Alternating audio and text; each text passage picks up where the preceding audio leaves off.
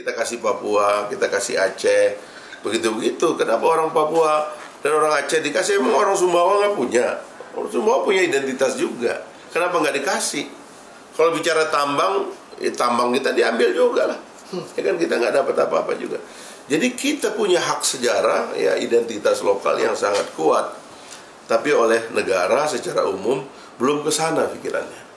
Sultan ini dikumpulin, diadu domba, dijadikan vote getter kalau menjelang pemilu, habis itu ditinggalkan. Nah, pekerjaan besar kita adalah uh, menjaga memori satu bangsa supaya nanti jangan seperti pepatah Melayu tadi di tengah jalan kita bingung. Dan begitu kita mau kembali kita nggak tahu kembali ke mana.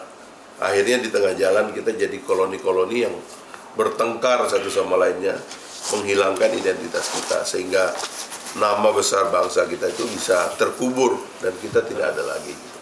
Atau menjadi entitas kecil-kecil yang masih sanggup mengumpulkan ingatan kita untuk bersatu. Dan saya kira itu bisa menguat.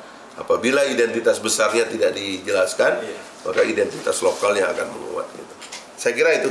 Saya terima kasih mengucapkan selamat. Mudah-mudahan ini bisa kita teruskan proyeknya. Namanya proyek menjaga ingatan